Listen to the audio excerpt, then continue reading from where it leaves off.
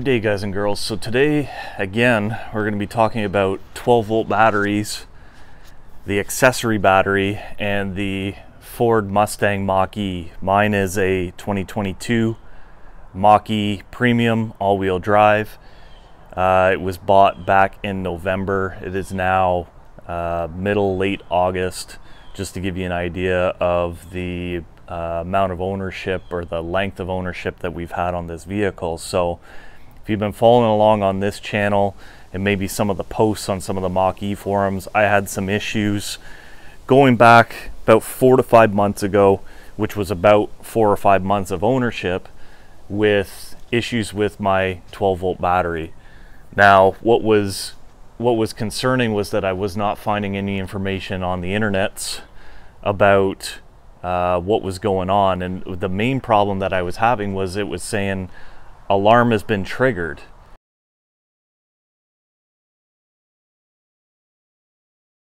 And yet it's sitting here in the driveway and no one's tried to get into it. Shortly after that, we were getting the messages about the electrical system drain.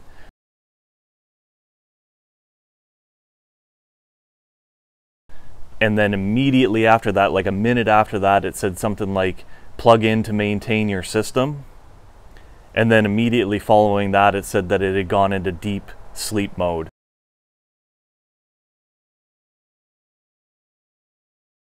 And unfortunately, once the Mach-E goes into deep sleep mode, you can try plugging it in to charge it.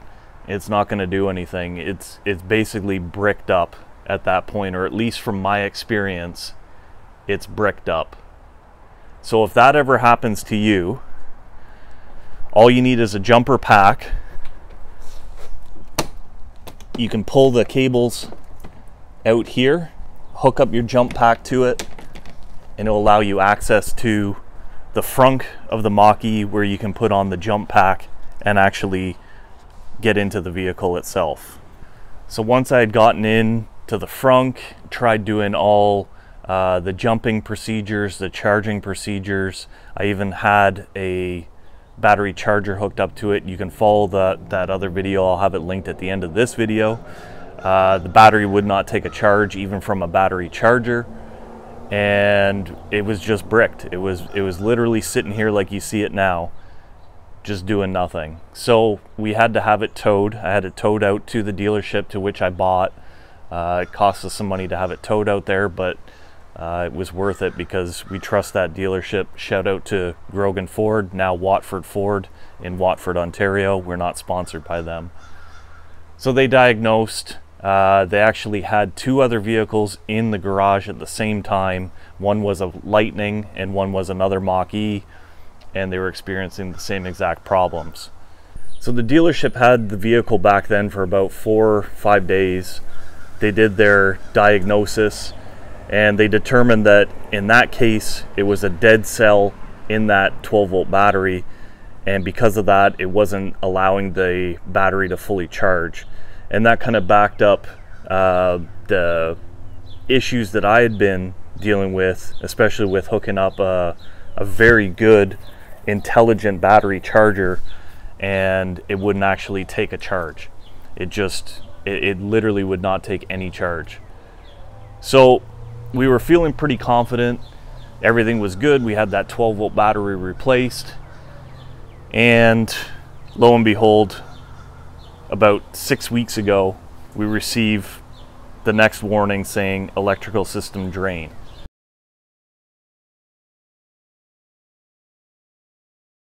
So of course we're panicking. Uh, this is my wife's car, so she's she's panicking. She's got a, a new job where she's got to drive twice the distance, approximately 130 kilometers each way and uh, you know we're kind of kind of freaking out. I'm not going to be you know I'm not going to hide it. We were we were very concerned. Let's put it that way. So luckily enough, this coincided with our first scheduled appointment, which in Canada is at 16,000 kilometers. So we ended up booking in that appointment, and approximately a week after that, we get the warning again: electrical system drain.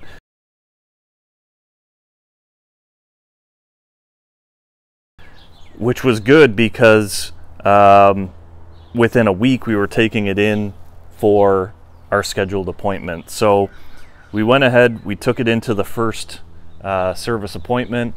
They ended up doing a diagnosis on it, and the dealership, through uh, the reception, said that it was actually a BCM or a body control module, which was kind of uh, surprising to me. I thought maybe the B meant battery control module, but from what they said, again, this was through the receptionist, uh, it is actually a body control module. So once it was determined that it was a body control module, the dealership ordered the parts and we set up an appointment to actually go in and get that changed out. And oddly enough, about six days ago, we get the message again, except this time it says electrical system drain.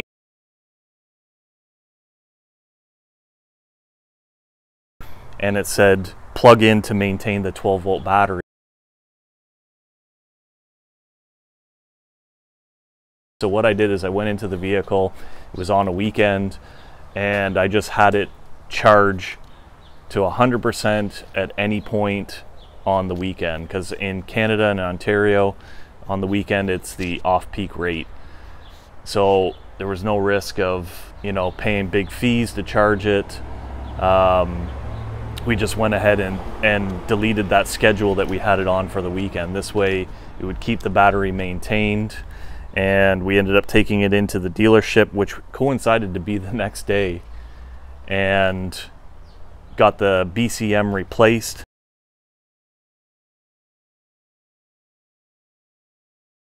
The only uh, uh, issue with getting the BCM replaced, I guess you would say, is that uh, we have to reprogram the uh, keypad on the outside, and we also have to reprogram the phone as a key and the backup code for the phone as a key and all that. So that's a very, very small detail.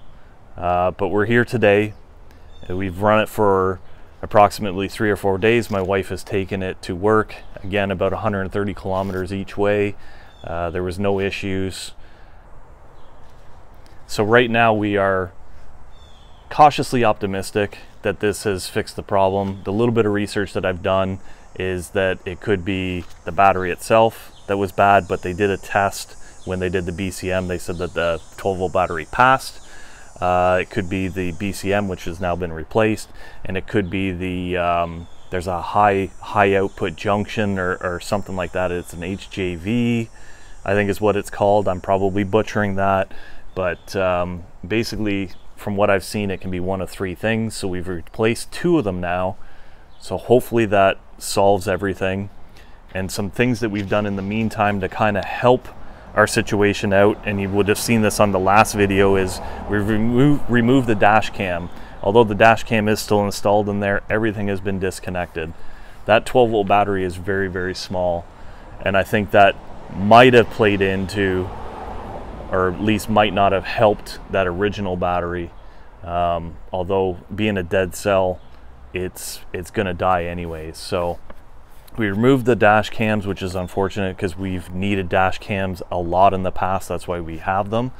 Uh, so we removed that so that it's not draining down the 12 volt battery constantly.